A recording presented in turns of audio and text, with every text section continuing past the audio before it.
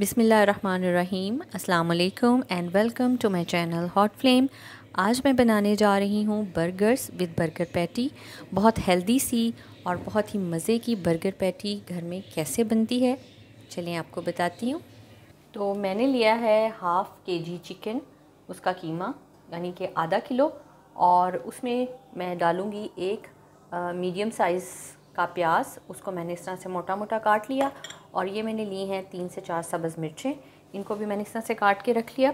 तो सबसे पहले हम मिक्सर ग्राइंडर लेंगे और उसके अंदर ये हम अनियन और ये जो हमारी मिर्चें हैं ग्रीन चिलीज़, इनको हम डाल के, इनको हम बिल्कुल फ़ाइन चॉप कर लेंगे। ये देखें, अनियंस और जो यानी प्याज और जो सब्ज़ मिर्चें हैं, उनको हमने बिल्कुल बारीक बारीक सा इस तरह से इसमें चॉप कर लिया है। अब इसके अंदर हम तमाम चीज़ें डालेंगे। तो सबसे पहले इसके अंदर ये कीमा जाएगा। कीमा इसमें डालने के बाद इसमें जाएगा वन टीस्पून सॉल्ट, यानी एक चाय का चम्मच नमक। हाफ़ टी स्पून इसमें जाएगा रेड चिली पाउडर, यानी कि पिसी हुई लाल मिर्च। हाफ़ टी स्पून इसमें जाएगी पिसी हुई काली मिर्च, यानी black pepper. Half teaspoon इसमें जाएगा garam masala powder. One and half teaspoon इसमें जाएगा खुश्क धनिया, पिसा हुआ, यानी dry coriander one and half teaspoon ही इसमें पिसा हुआ ज़ीरा, यानी कि क्यूमिन पाउडर इसमें ये जाएगा। ये तमाम चीज़ें इसमें मैंने ऐड कर दी। अब इसमें मैं डालूँगी एक अदद एग यानी अंडा, और इसमें हम डालेंगे अपना सीक्रेट इंग्रेडिएंट बेकिंग सोडा ये क्वार्टर टी स्पून इसमें जाएगा बेकिंग सोडा और ये तमाम चीज़ें भी इसमें डालने के बाद हम इसको बंद करेंगे और इसको हम पीस लेंगे। देखें, ये सारी चीज़ें जो इसमें डाली थी कीमे के अंदर पीस के तो ये बिल्कुल एक फ़ाइन सी पेस्ट तैयार हो गई है। अब हम इसकी पैटी तैयार करेंगे। तो ये सारा जो मटेरियल था उसको मैंने एक बाउल में निकाला और तकरीबन आधे घंटे के लिए मैंने इसको फ्रिज में रख दिया ताकि इसके जो तमाम मसाले हैं, उनका फ्लेवर इनके अंदर कीमे में अच्छी तरह से मिक्स हो जाए। तो अब हम इससे पैटी बनाना शुरू करते हैं। इसके लिए सबसे पहले हाथों पे हम लगाएँगे थोड़ा सा ऑयल और फिर बैटर लेंगे। बसमीम ये देखिए। इतना हमने ये मटेरियल लिया और इसकी हमने एक पतली सी इस तरह से कबाब हम इसका तैयार कर लेंगे। इसकी जो थिकनेस है वो सेंटर से और साइडों से हमने बिल्कुल इक्वल रखनी है। ठीक है? और जितनी हमारी बर्गर की पैटी का साइज़ हमें बाज़ार से मिलता है, उससे हमने थोड़ा सा इसको बड़ा बना कर तैयार करना है। इसी साइज़ की हम तमाम जो पैटीज़ हैं, वो तैयार कर लेंगे और इनको एक प्लेट में रखते जाएँगे। तो ये बर्गर पैटीज़ इस साइज़ की मैंने बनाकर तैयार की हैं। जो मेरे पास मटेरियल था, उससे टोटल आठ बर्गर पैटीज़ बनी हैं। अब हम आते हैं इसके एक नेक्स्ट और बहुत ही इंपॉर्टेंट स्टेप की तरफ़। इस स्टेज पे आपने इन कबाबों को रखना है ओवन में। अगर आपके पास ओवन नहीं है बेकिंग ओवन तो कोई बात नहीं, आप इसको माइक्रोवेव ओवन में रखें थ्री टू फोर मिनट्स के लिए। और मैं इनको ओवन में रखती हूँ और उसके बाद थ्री टू फोर मिनट्स के बाद आपको दिखाती हूँ। बर्गर पैटी को मैंने तीन मिनट के लिए माइक्रोवेव किया और ये देखें, उन्होंने एक अपनी शेप ले ली है और हाफ़ कुक वो हो चुकी हैं। अब हम करेंगे इनकी कोटिंग कोटिंग के लिए सबसे पहले मैंने एक बाउल में एक अंडा डाला और उसके अंदर मैंने डाल दिया टू टेबलस्पून मिल्क यानी कि दो बड़े चम्मच दूध के और इनको हम अच्छी तरह से बीट करके इन दोनों चीज़ों को मिक्स कर लेंगे। कोटिंग के लिए मैंने लिया है हाफ़ कप मैदा और इसमें हाफ़ कप ही कॉर्नफ्लोर डाला। हाफ़ टी स्पून इसमें जाएगा सॉल्ट और हाफ़ टी स्पून ही इसमें मैंने डाला है गार्लिक पाउडर अगर आपके पास गार्लिक पाउडर नहीं है तो आप इसको स्किप कर सकते हैं।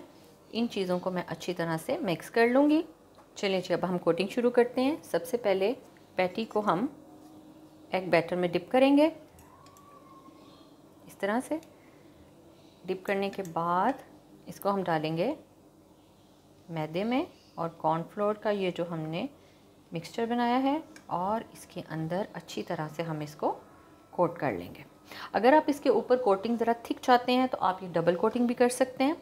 लेकिन हमने इसको ज़्यादा क्रिस्पी नहीं बनाना तो मेरे ख्याल में सिंगल कोटिंग इसकी इनफ है। इस तरह से पैटी को तैयार करके हम रखेंगे और बाकी तमाम जो हमारे हाफ़ कुक पैटीज़ हैं, उनको भी इसी तरह से हम इसमें डिप करके तो हम इसको कोट करके रख लेंगे। तो तमाम चिकन पैटीज़ को हमने कोटिंग कर कर तैयार कर लिया है। तो चलिए अब इनको फ्राई करते हैं। पैन में ऑयल डाल के रखा। वो गर्म हो चुका है। अब हम इसमें डालेंगे कोटेड चिकन पैटीज़ आप पैटीज़ के साइज़ को अपनी मर्ज़ी से प्लस या माइनस कर सकते हैं। ये मैंने इसमें डाल दी। अब हम मीडियम टू स्लो हीट रखेंगे और इसको अब हम थोड़ी देर के लिए एक साइड इसकी पकने देंगे। एक मिनट पकाने के बाद मैं इनकी साइडें चेंज कर रही हूँ।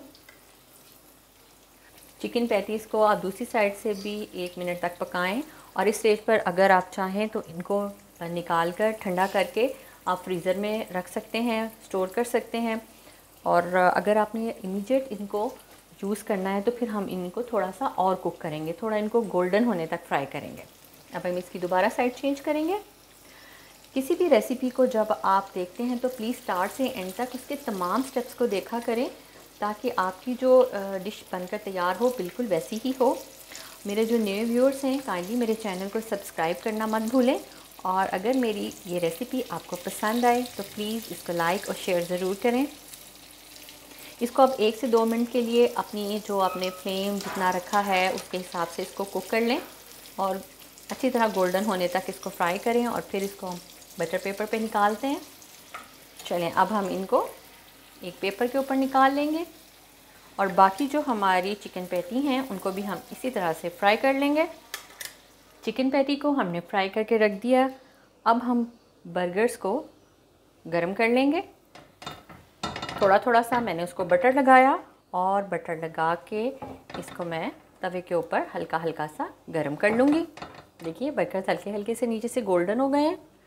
बस हम स्टेज पे इनको उतार लेंगे और अब हम करेंगे इनकी असेंबलिंग चिकन पैटीज़ हमारी रेडी है और हमने बर्गर बंस भी गर्म कर लिए। अब हम करेंगे इनकी असेंबलिंग सबसे पहले हम लेंगे बर्गर्स के बन और इनके ऊपर हम लगाएँगे मायोनीस इस तरह से इनके ऊपर स्प्रेड कर देंगे मायोनीस तकरीबन हाफ़ हाफ़ टी स्पून हम इसके ऊपर मायो लगाएँगे.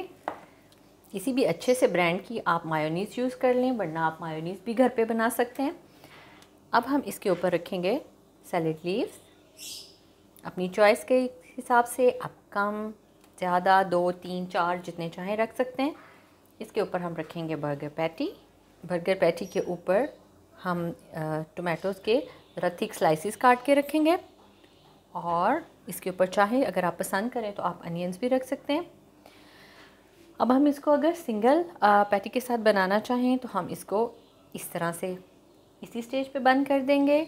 अदरवाइज़ हम अगर ज़्यादा पैटी आप पसंद करते हैं आपके बच्चे तो आप इसके ऊपर एक और पैटी भी रख सकते हैं।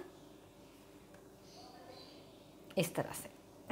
ये देखिए, इस तरह से तैयार हो जाएगा हमारा बहुत ही मज़े का डबल चिकन पैटी बर्गर तो ये तैयार हैं, ज़बरदस्त से चिकन पैटी बर्गर आप इनको ज़रूर ट्राई करें और हमें अपनी दुआओं में याद रखें। अल्लाह हाफिज़।